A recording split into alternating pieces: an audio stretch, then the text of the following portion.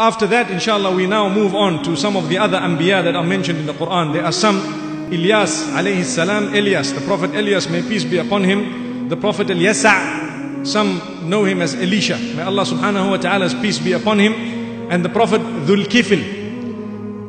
These Allah subhanahu wa ta'ala does not mention much detail about, only the Prophet Ilyas, Allah says in one place a little bit of detail. So in the other places only a name is mentioned and a word of praise that they were al-akhyar. Al-akhyar meaning they were good people, they were the best of the lot and so on. As we said, whenever we hear a narration that is against the dignity and respect accorded to a Nabi of Allah subhanahu wa ta'ala by Allah, we should throw the narration out because Allah says these people were chosen. They were chosen.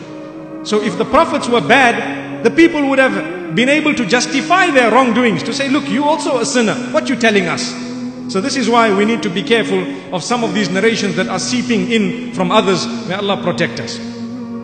Allah says, إذ قال لقومه ألا تتقون Ilyas was from amongst those who were sent. He was a Nabi.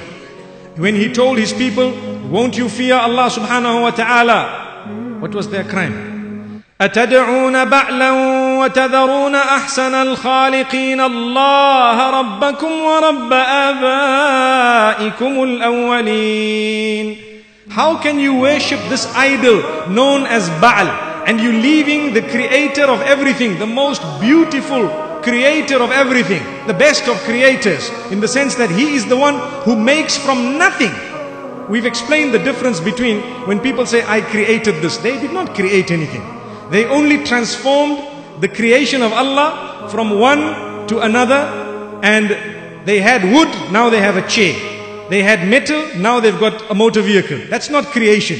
Creation is when you say be and suddenly it's in front of you. This is creation. So, so Ilyas alayhi salam is telling his people, how can you worship all these items and this main idol that you're worshipping and you're leaving the one who's the maker, the creator, the supreme creator.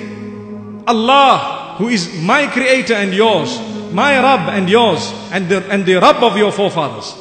فكذبوه فإنهم لمحضرون إلا عباد الله المخلصين Allah subhanahu wa ta'ala says they belied him. So what happened to them? They were punished. The punishment was brought forward and they were made present to where the punishment was. They were punished. We don't know more about this Prophet of Allah subhanahu wa ta'ala.